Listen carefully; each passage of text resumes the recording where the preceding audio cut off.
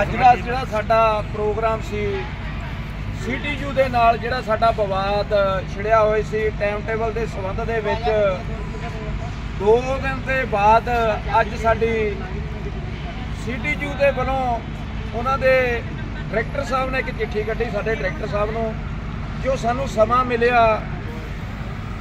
6ਵੇਂ ਦੀ 19 ਤਰੀਕ ਮੀਟਿੰਗ ਮਿਲੀ ਆਪਾਂ ਨੂੰ।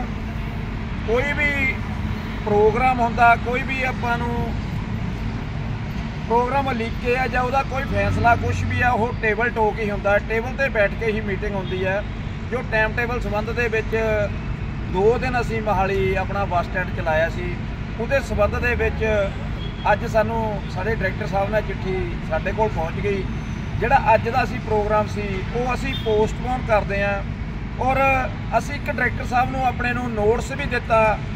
ਅਗਰ ਜਿਹੜਾ ਸਾਡਾ ਇਹ ਪ੍ਰੋਗਰਾਮ ਸੀ ਟਾਈਮ ਟੇਬਲ ਦਾ ਤੇ ਕਾਊਂਟਰ 1 ਦਾ ਤੇ ਜਿਹੜੀ ਪਰਚੀ ਦੇ ਸੰਬੰਧ ਦੇ ਵਿੱਚ ਇਹ ਅਸੀਂ ਪ੍ਰੋਗਰਾਮ ਉਲੀਕੇ ਸੀ, ਅਗਰ ਉਹਦਾ 19 ਤਰੀਕ ਨੂੰ ਹੱਲ ਨਾ ਨਿਕਲਿਆ ਸਹੀ ਤਰੀਕੇ ਨਾਲ 20 ਤਰੀਕ ਨੂੰ,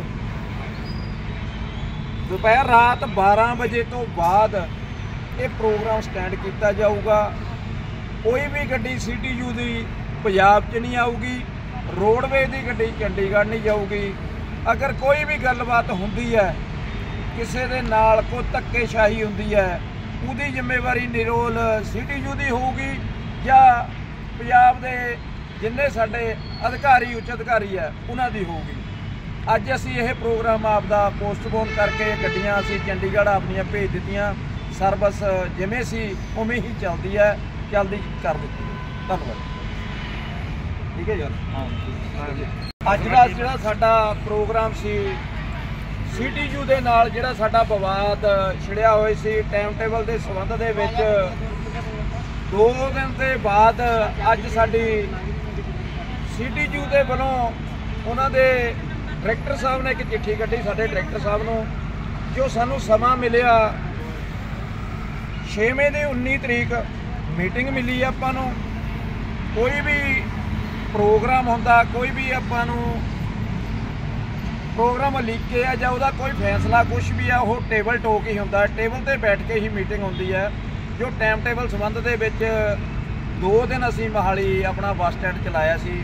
ਉਹਦੇ ਸੰਬੰਧ ਦੇ ਵਿੱਚ ਅੱਜ ਸਾਨੂੰ ਸਾਡੇ ਡਾਇਰੈਕਟਰ ਸਾਹਿਬ ਨਾਲ ਚਿੱਠੀ ਸਾਡੇ ਕੋਲ ਪਹੁੰਚ ਗਈ। ਜਿਹੜਾ ਅੱਜ ਦਾ ਅਸੀਂ ਪ੍ਰੋਗਰਾਮ ਸੀ, ਉਹ ਅਸੀਂ ਪੋਸਟਪੋਨ ਕਰਦੇ ਆਂ। ਔਰ ਅਸੀਂ ਇੱਕ ਡਾਇਰੈਕਟਰ ਸਾਹਿਬ ਨੂੰ ਆਪਣੇ ਨੂੰ ਨੋਟਸ ਵੀ ਦਿੱਤਾ। ਅਗਰ ਜਿਹੜਾ ਸਾਡਾ ਇਹ ਪ੍ਰੋਗਰਾਮ ਸੀ ਟਾਈਮ ਟੇਬਲ ਦਾ ਤੇ ਕਾਊਂਟਰ 1 ਦਾ ਤੇ ਜਿਹੜੀ ਪਰਚੀ ਦੇ ਸੰਬੰਧ ਦੇ ਵਿੱਚ ਇਹ ਅਸੀਂ ਪ੍ਰੋਗਰਾਮ ਉਲੀਕੇ ਸੀ, ਅਗਰ ਉਹਦਾ 19 ਤਰੀਕ ਨੂੰ ਹੱਲ ਨਾ ਨਿਕਲਿਆ ਸਹੀ ਤਰੀਕੇ ਨਾਲ 20 ਤਰੀਕ ਨੂੰ, ਦੁਪਹਿਰ ਰਾਤ 12 ਵਜੇ ਤੋਂ ਬਾਅਦ ਇਹ ਪ੍ਰੋਗਰਾਮ ਸਟੈਂਡ ਕੀਤਾ ਜਾਊਗਾ। ਕੋਈ ਵੀ ਗੱਡੀ ਸੀਟੀਯੂ ਦੀ ਪੰਜਾਬ 'ਚ ਨਹੀਂ ਆਊਗੀ। ਰੋਡਵੇ ਦੀ ਗੱਡੀ ਚੰਡੀਗੜ੍ਹ ਨਹੀਂ ਜਾਊਗੀ। ਅਗਰ ਕੋਈ ਵੀ ਗੱਲਬਾਤ ਹੁੰਦੀ ਹੈ, ਕਿਸੇ ਦੇ ਨਾਲ ਕੋਈ ਧੱਕੇਸ਼ਾਹੀ ਹੁੰਦੀ ਹੈ, ਉਹਦੀ ਜ਼ਿੰਮੇਵਾਰੀ ਨਿਰੋਲ ਸੀਟੀਯੂ ਦੀ ਹੋਊਗੀ ਜਾਂ ਪੰਜਾਬ ਦੇ ਜਿੰਨੇ ਸਾਡੇ ਅਧਿਕਾਰੀ, ਉੱਚ ਅਧਿਕਾਰੀ ਹੈ, ਉਹਨਾਂ ਦੀ ਹੋਊਗੀ।